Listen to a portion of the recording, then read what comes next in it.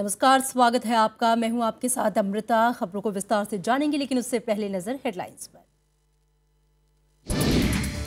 Kuala Lumpur में पूर्वी Asia शिखर सम्मेलन आज। आतंकवाद और दक्षिण चीन सागर के मुद्दे पर होगी बातचीत। मलेशिया के प्रवासी भारतीयों को संबोधित करेंगे प्रधानमंत्री नरेंद्र मोदी।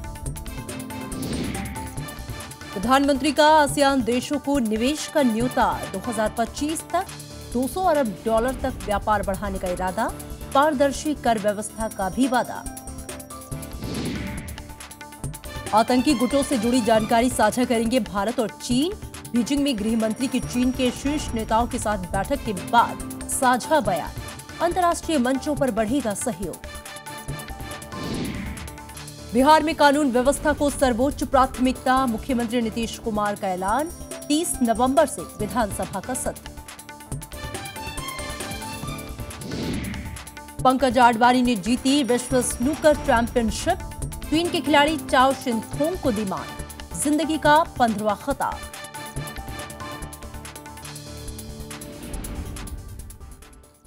खबरें विस्तार से। प्रधानमंत्री नरेंद्र मोदी के मलेशिया दौरे का आज दूसरा दिन भी खासा व्यवस्थाओं से भरा रहने वाला है। वो राजधानी कुआलालंपुर में पूर्वी एशिया शिखर सम्मेलन में हिस्सा लेंगे। आसियान बैठक की तरह ही इसमें भी आतंकवाद से निपटने दक्षिण चीन सागर और क्षेत्रीय सहयोग बढ़ाने पर चर्चा की उम्मीद है। पूर्वी एशिया शिखर सम्मेलन में 18 देश भागीदार हैं।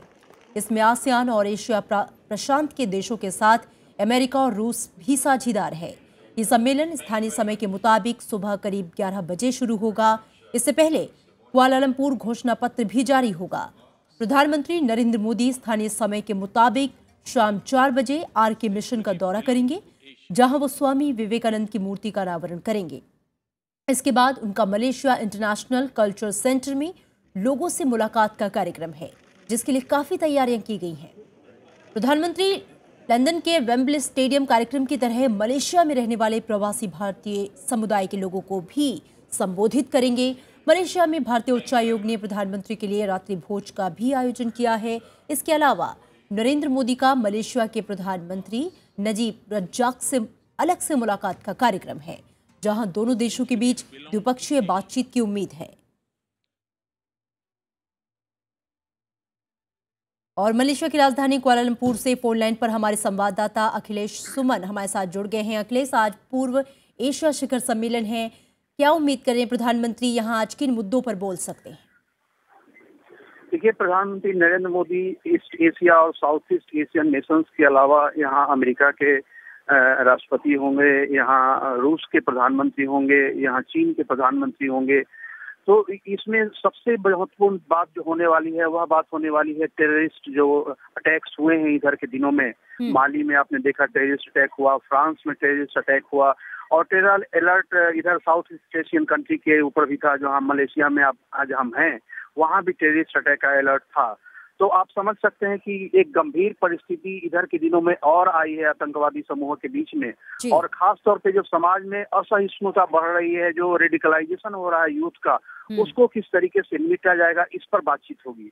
और दूसरी जो महत्वपूर्ण बात है वह बात है कि इस इलाके के लोगों को इस इलाके के देशों को साउथ चाइना सी का जो झगड़ा है उस झगड़े पर बात होगी और भारत ने अपनी स्थिति पहले से ही स्पष्ट कर रखी है। कल उन्होंने जापान के प्रधानमंत्री से प्रधानमंत्री ने मुलाकात की उन्होंने चीन के प्रधानमंत्री से मुलाकात की। हालाँकि चीन के प्रधानमंत्री से साउथ चाइना सी पर कोई बात नहीं हुई लेकिन जापान के प्रधानमंत्री से जो बात हुई उसमें भी साउथ चाइना सी के मामले को उठाने पर सहमति बनी है।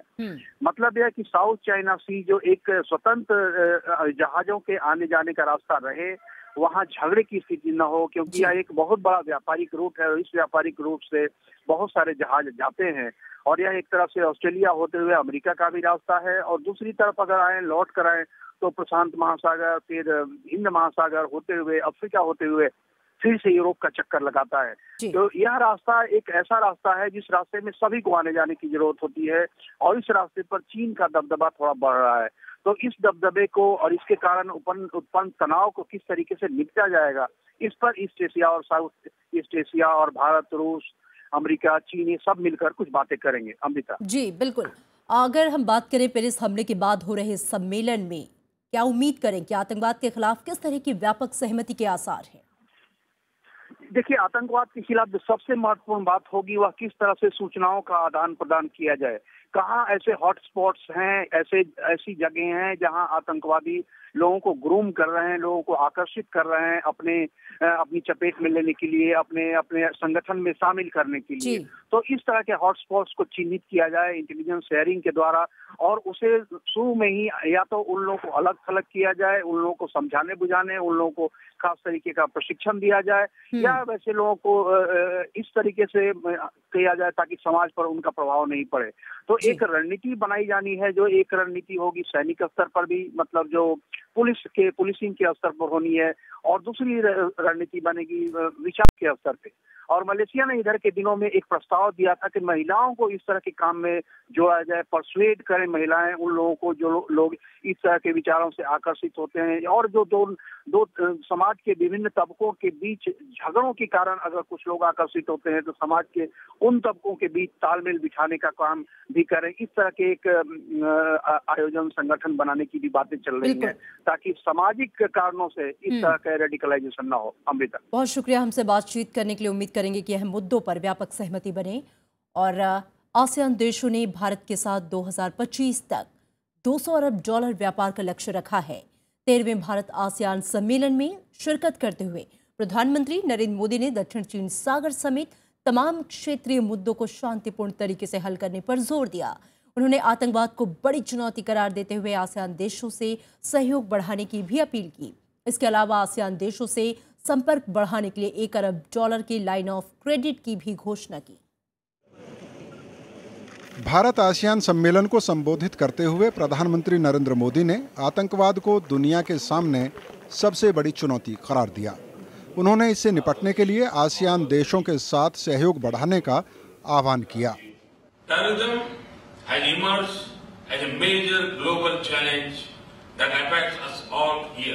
And we should see how we can enhance our cooperation at the regional and international level, including through support for adoption and comprehensive convention on international terrorism. प्रधानमंत्री मोदी ने दक्षिणी चीन सागर समेत सभी क्षेत्रीय विवादों का शांतिपूर्ण तरीके से हल निकालने पर ज़ोर दिया India hopes that all party to the disputes in the South China Sea will abide by the guidelines on the implementation of the declaration on the conduct of parties in the South China Sea and redouble efforts to early adoption of the code of conduct on the basis of consensus.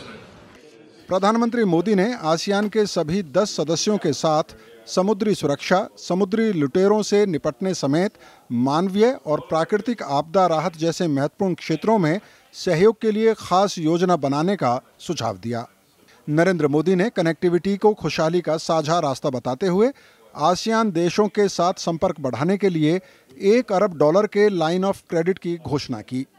Bharat, Myanmar, Thailand त्रिपक्षीय highway परियोजना के 2018 तक पूरा होने की उम्मीद भी जताई। उन्होंने भारत आसियान विज्ञान और प्रौद्योगिकी विकास कोष को मौजूदा 10 लाख से बढ़ाकर 50 लाख डॉलर करने का भी ऐलान किया।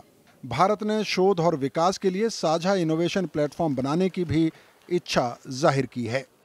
आसियान देशों के साथ भारत तीन तरीके से जोड़ना चाहता है। एक भौगोलिक रूप से, दूसरा व्यापारिक रूप से और तीसरा सुरक्षा कारणों से।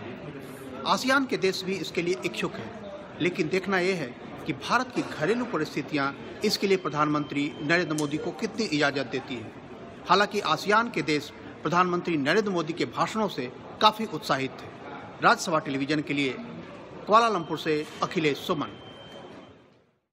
प्रधानमंत्री नरेंद्र मोदी का ये मानना है कि इक्कीसवीं सदी एशिया की होगी।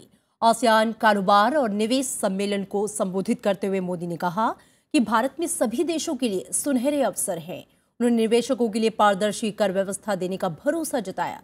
प्रधानमंत्री ने आसियान देशों को भारत में बुनियादी परियोजनाओं में निवेश करने के लिए आमंत्रित किया। मोदी ने आसियान देशों को भारत का स्वाभाविक सहयोगी करार दिया।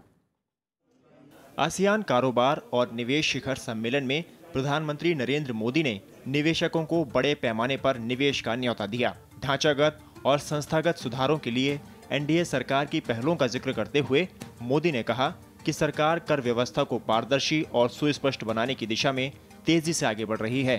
प्रधानमंत्री ने बौद्धिक संपदा अधिकारों को सुरक्षा मुहैया कराने के लिए इस साल के अंत तक व्यापक राष्ट्रीय बौद्धिक संपदा अधिकार नीति लाने की उम्मीद जताई।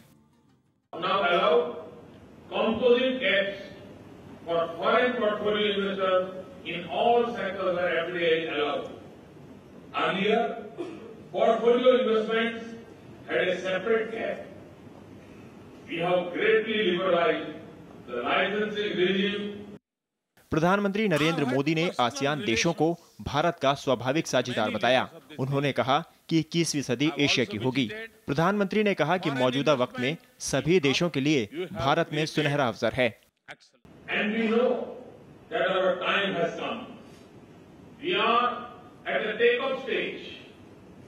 I invite you to come and see the winds of change in India. Winds सम्मेलन से अलग प्रधानमंत्री नरेंद्र मोदी ने चीन के प्रधानमंत्री ली कशियांग से मुलाकात की। दोनों नेताओं ने द्विपक्षीय रिश्तों के साथ ही परस्पर सरोकार के वैश्विक मुद्दों पर चर्चा की। नरेंद्र मोदी जापानी समकक्ष शिंजो आबे से भी मिले। जापान के प्रधानमंत्री आबे 11 दिसंबर को द्विपक्षीय शिखर सम्मेलन के लिए भारत आने वाले हैं। Prime minister Modi briefed Premier Li Keqiang on his International Solar Alliance proposal. As you know, this is an initiative by India to invite 122 countries which are solar rich uh, to come on a common platform and discuss ways and means of expanding the use of solar and introducing new technology. And he invited China to consider joining the International Solar Alliance. ASEAN Bharat का चौथा सबसे बड़ा कारोबारी साझेदार है जबकि Bharat ASEAN के लिए छठा सबसे बड़ा कारोबारी देश है। पिछले साल भारत और आसियान के बीच छिहत्तर दशमलव पाँच दो अरब डॉलर का कारोबार हुआ था। अखिलेश सुमन, राज्यसभा टीवी। और भारत और चीन आतंकी गुटों से जुड़ी जानकारियाँ साझा करने पर सहमत हुए हैं। बीजिंग दौरे पर गए गृह मंत्री राजनाथ सिंह की चीन के शीर्ष नेताओं से मुलाकात के बाद साझा बयान में इसकी घोषणा की गई। दोनों देशों आतंकवाद पर अंतर्राष्ट्रीय मंचों पर सहयोग करेंगे। भारतीय अधिकारियों ने पीटीआई से कहा है कि इस सहयोग से दोनों देशों के सुरक्षा संबंध मज़बूत होंगे और खुफिया जानकारी साझा हो सकेगी। अधिकारियों के मुताबिक इससे पूर्वोत्तर में उग्रवाद से निपटने में मदद मिलेगी। बयान में नए सुरक्षा तंत्र का ज़िक्र भी है। इसकी अध्यक्षता दोनों देशों के गृह मंत्री करेंगे। हर साल इसकी बैठक दिल्ली और बीजिंग में होगी। इसके अलावा एक औपचारिक समिति बनेगी, जिसकी पहली बैठक अगले साल दिल्ली में होगी।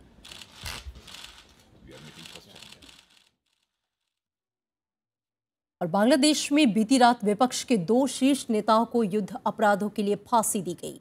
इनमें जमात इस्लामी के महासचिव अली एहसन मोहम्मद मुजाहिद और बांग्लादेश नेशनलिस्ट पार्टी के नेता सलाहुद्दीन कादर चौधरी शामिल हैं।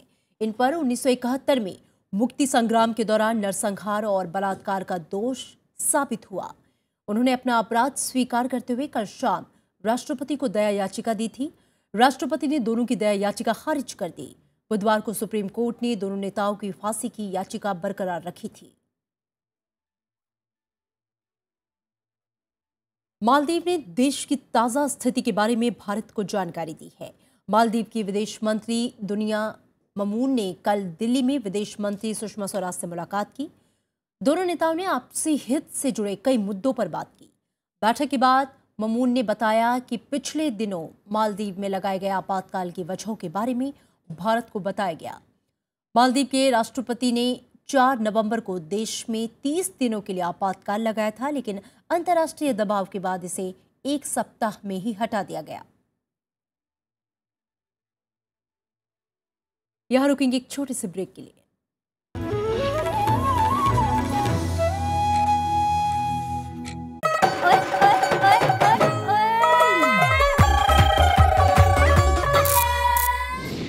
बहुत सारा फोक म्यूज़िक बजता था तो जहन में बचपन से ही वो कहीं ना कहीं वो अंदर आते जा रहा था।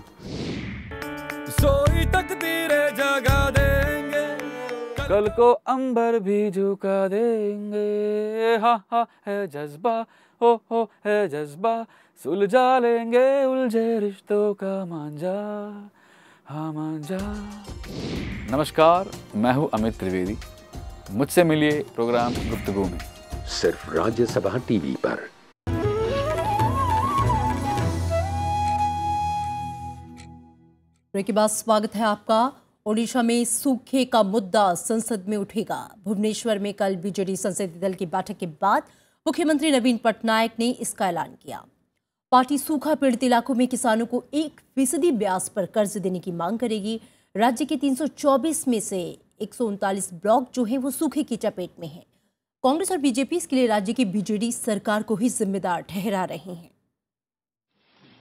सूखे की मार झेल रहे ओडिशा के मुख्यमंत्री नवीन पटनायक ने केंद्र सरकार से आर्थिक मदद की मांग की है। नवीन पटनायक ने प्रधानमंत्री नरेंद्र मोदी और वित्त मंत्री अरुण जेटली को चिट्ठी लिखकर राहत पैकेज की मांग की है। राज्य के बरगढ़ ज़िले के सोलेहा में एक किसान सम्मेलन के बाद मुख्यमंत्री ने ये चिट्ठी लिखी। नवीन पटनायक ने वित्त मंत्री को लिखा है कि राज्य में मौजूद सूखे की स्थिति से फ़सल को काफ़ी नुकसान पहुँचा है।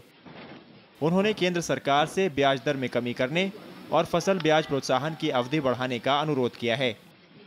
इधर ओडिशा कांग्रेस ने राज्य में किसानों की आत्महत्या पर श्वेत पत्र जारी किया है। इसमें राज्य सरकार की अनदेखी के चलते 100 से ज़्यादा किसानों की खुदकुशी का आरोप लगाया गया है।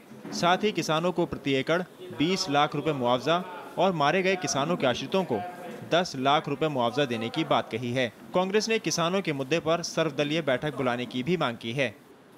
किसान के लिए कॉम्पनसेशन जो है, जो उसको सब्सिडी कॉम्पनसेशन और एमएसपी और बोनस उसमें सब बढ़ावा देना चाहिए और बहुत डिस्ट्रिक्ट ड्रॉट इफेक्टेड भी है। केंद्र सरकार भी आँख मूझ के बंद करके चुप बैठे हैं। तो एक तरफ़ अकाल है, एक तरफ़ किसान अपना फ़सल नष्ट होने से खुद को आत्महत्या कर रहा है। इसको रोकने के लिए हम जन आंदोलन करेंगे, सरकार को जगाएँगे। उड़ीसा में परिस्थिति बहुत संगीन है। किसानों की यहाँ मौत हो रही है। बहुत डिस्ट्रेस में, बहुत हताशा में ही यहाँ के किसान हैं। राज्य सरकार अपनी जवाबदेही से मुँह मोड़ नहीं सकता है। इसलिए इसको जल्द ही राज्य सरकार राजनीतिक उत्तरदायित्व को पूरा करने के लिए, जवाबदेही पूरा करने के लिए मेमोरेंडम भेजनी चाहिए केंद्र के पास।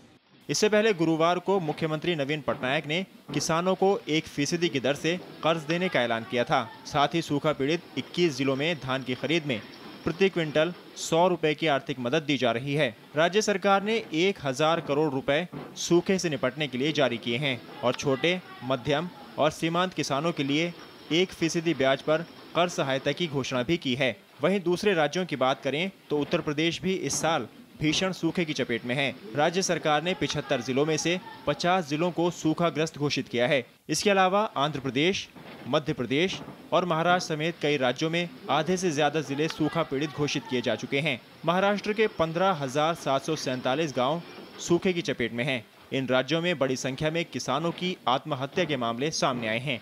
Bureau report, Rajya Sabha TV. राष्ट्रपति प्रणब मुखर्जी ने एक बार फिर से सहिष्णुता का संदेश दोहराया है। प्रणब मुखर्जी ने राष्ट्रपति भवन में भारत विदों के पहले अंतर्राष्ट्रीय सम्मेलन का उद्घाटन किया। इस मौके पर उन्होंने कहा कि दुनिया अभी असहिष्णुता के आघात से निपटने के लिए संघर्ष कर रहा है। राष्ट्रपति ने उन विचारों की याद दिलाई जिसके लिए भारत जाना जाता है। स्वामी विवेकानंद के संदेश को दोहराते हुए उन्होंने कहा कि दुनिया को अब भी भारत से सहिष्णुता और संवेदना का विचार सीखना चाहिए। राष्ट्रपति ने तीन दिवसीय सम्मेलन में हिस्सा ले रहे विद्वानों से कहा कि बहुलवाद और बहुसंस्कृतिवाद भारतीय जनमानस के केंद्र में है। इस मौके पर विदेश मंत्री सुषमा स्वराज भी मौजूद थी। राष्ट्रपति ने दुनिया भर की युवा पीढ़ी से आयुर्वेद और दूसरे भारतीय चिकित्सा प्रणालियों को पढ़ने और उससे लाभ उठाने की अपील की। Today witnessing events without precedent when the world is struggling to deal with the worst impulses of intolerance and hatred that mankind has ever witnessed. At such a time, there can be no better recourse than to remind ourselves that the high values, written and unwritten, samskars, duties, and the way of life that is the essence of India. और बिहार की नई विधानसभा का पहला सत्र 30 नवंबर से 8 दिसंबर तक होगा। कल शाम कैबिनेट की बैठक में इसका फैसला हुआ। पहले दो दिन नए विधायक शपथ लेंगे और दो दिसंबर को विधानसभा अध्यक्ष का चुनाव होगा। इससे पहले मुख्यमंत्री नीतीश कुमार ने पुलिस अधिकारियों के साथ कानून व्यवस्था की समीक्षा की। कल मुख्यमंत्री की शपथ और आज राज्य में कानून व्यवस्था को मज़बूत करने के लिए बैठक। सुशासन के लिए जाने जाने वाले मुख्यमंत्री नीतीश कुमार ने पुलिस अधिकारियों के साथ बैठक कर जता दिया है कि उनकी सरकार की सबसे बड़ी प्राथमिकता कानून व्यवस्था है।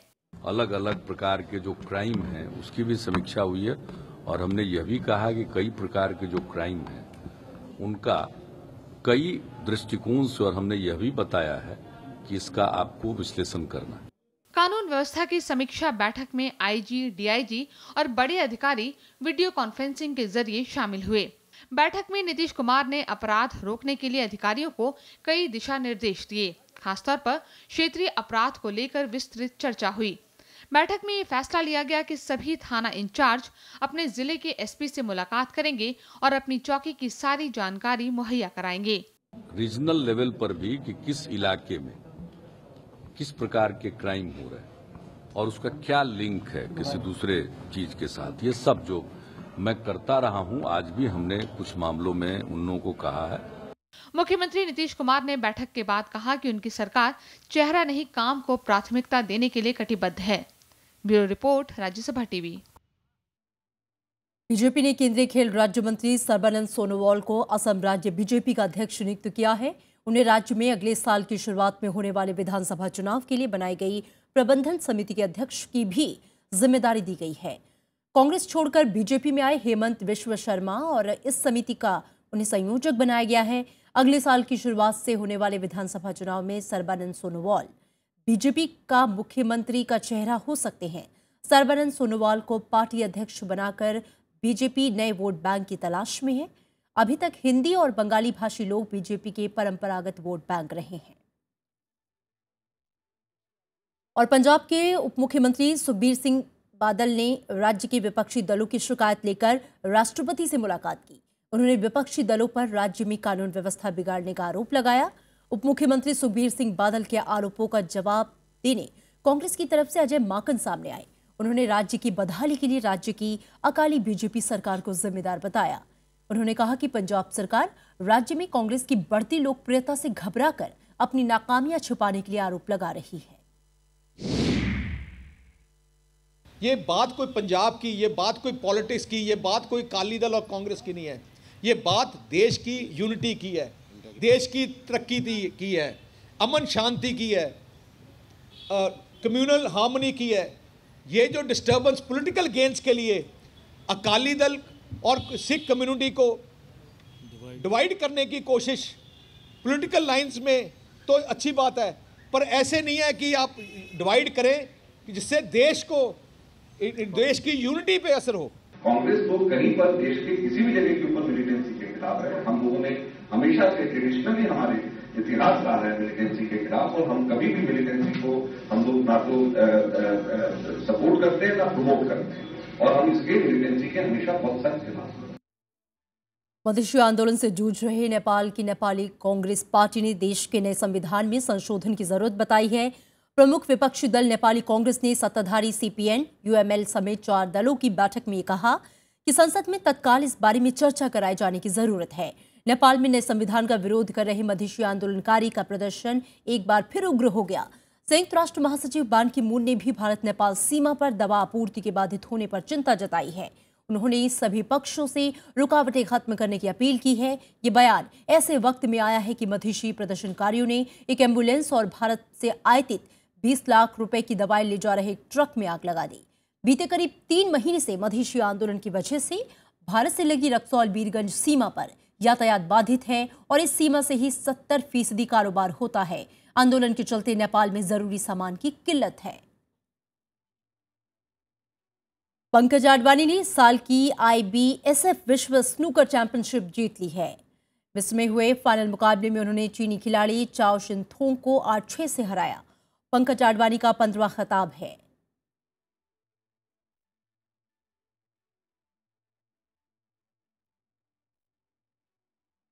गोवा में भारत का अंतर्राष्ट्रीय फ़िल्म समारोह पूरी धूमधाम से मनाया जा रहा है। सूचना और प्रसारण राज्य मंत्री राज्यवर्धन मंत्री राज्यवर्धन सिंह राठौर ने आज भारतीय पैनोरमा के सेक्शन का उद्घाटन किया। भारतीय पैनोरमा में इस बार 10 भारतीय भाषाओं से दो सौ सैंतीस फीचर फ़िल्में दिखाई जाएँगी। गोवा में चल रहे अंतर्राष्ट्रीय फ़िल्म फेस्टिवल का दूसरा दिन बेहद खास रहा। फेस्टिवल में रीस्टोर्ड क्लासिक का ये सेक्शन लोगों के बीच आकर्षण का केंद्र बना रहा। इस सेक्शन में नेशनल फ़िल्म आर्काइव और नेशनल फ़िल्म हेरिटेज मिशन ने फ़िल्म निर्माण में काम आने वाले पुराने उपकरणों से दर्शकों को रूबरू कराया। बहुत ही डेडिकेटेड टीम इसमें लगी है किस तरह से उसको पुरानी फ़िल्मों को प्रिजर्व करा जा रहा है। करीब 1300 फ़िल्में हैं जिसको डिजिटाइज करा रेस्टोर करा जाएगा और डिजिटाइज करा जाएगा ताकि हम सब के के लिए और आने वाली पीढ़ी के लिए वो एक तरह से एक रेडी रेफरेंस मटेरियल रहेगा। नेशनल फ़िल्म हेरिटेज मिशन की बनाई ये लघु फ़िल्म दर्शकों को खूब पसंद आई। इस फ़िल्म का मकसद लोगों के बीच जागरूकता फैलाना है। फ़िल्मों के 100 साल के इतिहास को संजोए इन पोस्टर क्योस्क फ़िल्म क्लिप्स और टेम्पलेट्स ने महोत्सव को और भी खास बना दिया है।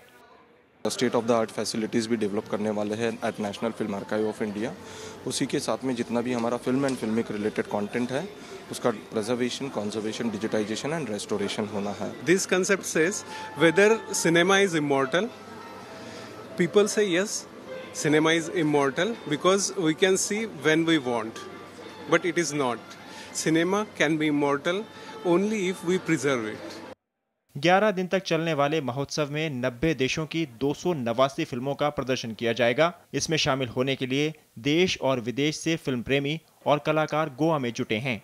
इरफान संवाददाता। और अब बात करते हैं राज्यसभा टीवी के खास कार्यक्रम आपकी आवाज़ की।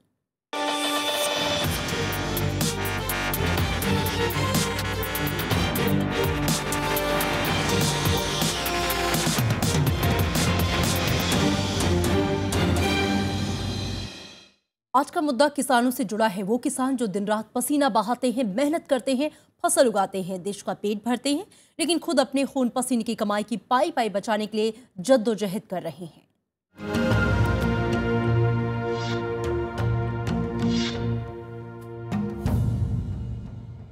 उमेद सिंह खत्री, रोहतक निवासी, आपके चैनल के माध्यम से भारत सरकार का ध्यान आकर्षित करना चाहता हूँ। कि बैंकों द्वारा किसानों का शोषण किया जा रहा है। मेरे संपर्क में आए किसानों का मैंने अधिक लिया, ब्याज भी वापस दिलवाया है। इस बारे में कृषि मंत्री ओम प्रकाश धनखड़ से मिला। उन्होंने इस बारे में अर्ध सरकारी पत्र वित्त मंत्रालय को लिखा। वित्त मंत्री ने आदेश दिए कि भी एक हफ़्ता में इसकी जाँच करके रिपोर्ट दी जाए, लेकिन उसका निष्कर्ष आज तक नहीं निकला ब्याज के अतिरिक्त प्रोसेसिंग फ़ीस हर किसान से हर वर्ष डेबिट की जा रही है, जबकि सभी प्रकार के लोन के ऊपर मात्र एक बार प्रोसेसिंग फ़ीस ली जाती है तो ये किसानों के साथ सरासर अन्याय होता प्रतीत हो रहा है।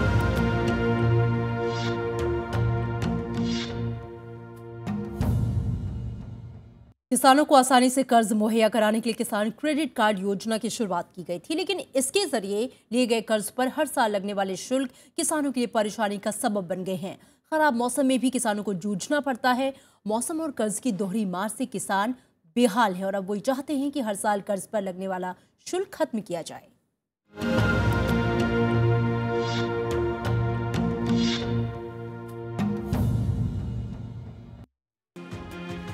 उम्मेद सिंह ने तीन साल पहले खेती के लिए हरियाणा ग्रामीण बैंक से पचास हज़ार का कर्ज लिया। इसके लिए उन्होंने ब्याज के साथ प्रोसेसिंग फ़ीस के रूप में दो सौ रुपए भी चुकाए। उन्होंने साल भर के भीतर कर्ज तो चुका दिया, लेकिन इस फ़ीस से पीछा नहीं छुड़ा पाए हैं। मेरी तरफ़ आज के दिन कोई लोन बकाया नहीं है। और दो साल से दो सौ अस्सी रुपये मेरी पचास हज़ार की कैश क्रेडिट थी।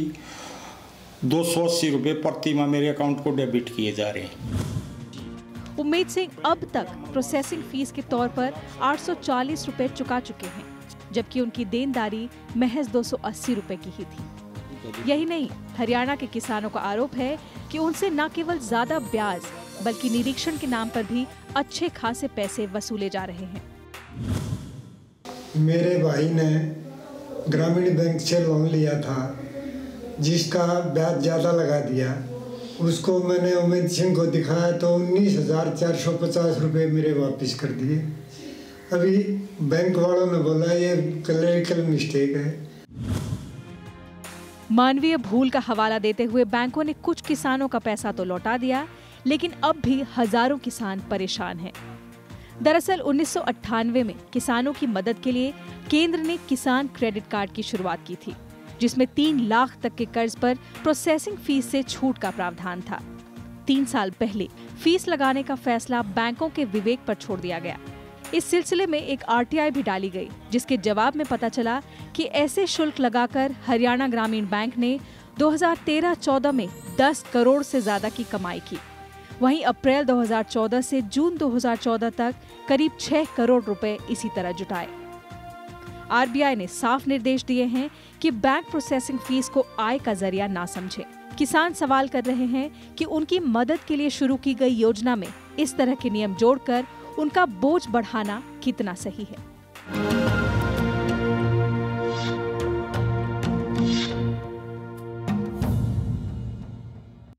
तो अगर आप भी किसी समस्या से परेशान हैं या आपके पास भी कोई खबर है तो बनिए सिटीजन रिपोर्टर और भेजिए अपनी रिपोर्ट आपकी आवाज़ at the rate R S TV dot N I dot in पर। और चलते चलते नज़र हेडलाइंस पर। कुआलालंपुर में पूर्वी एशिया शिखर सम्मेलन आज, आतंकवाद और दक्षिण चीन सागर के मुद्दे पर होगी बातचीत। मलेशिया के प्रवासी भारतीयों को संबोधित करेंगे प्रधानमंत्री। प्रधानमंत्री का आसियान देशों को निवेश का न्योता 2025 तक 200 अरब डॉलर तक व्यापार बढ़ाने का इरादा, पारदर्शी कर व्यवस्था का भी वादा। आतंकी गुटों से जुड़ी जानकारी साझा करेंगे भारत और चीन। बीजिंग में गृह मंत्री की चीन के शीर्ष नेताओं के साथ बैठक के बाद साझा बयान। अंतर्राष्ट्रीय मंचों पर बढ़ेगा सहयोग।